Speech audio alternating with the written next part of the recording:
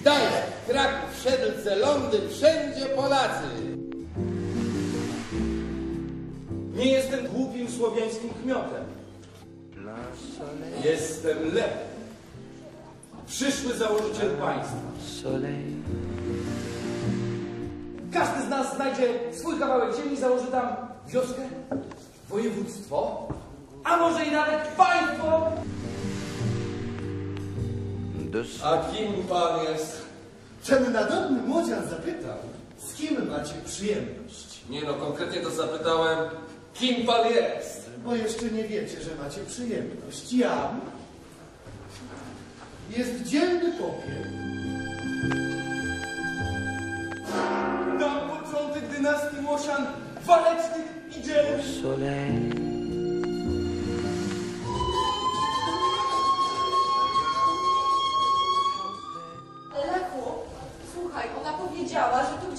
Niedaleko jest polana i że my na tej polanie możemy założyć nasze państwo, tylko że musimy wypatrywać e, znaku od światowida.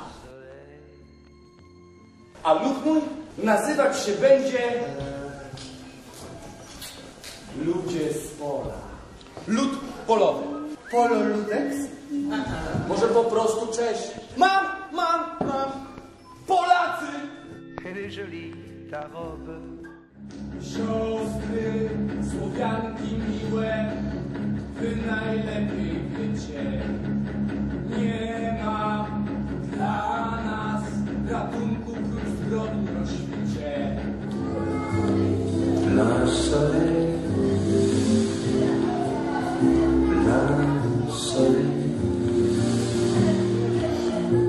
la vie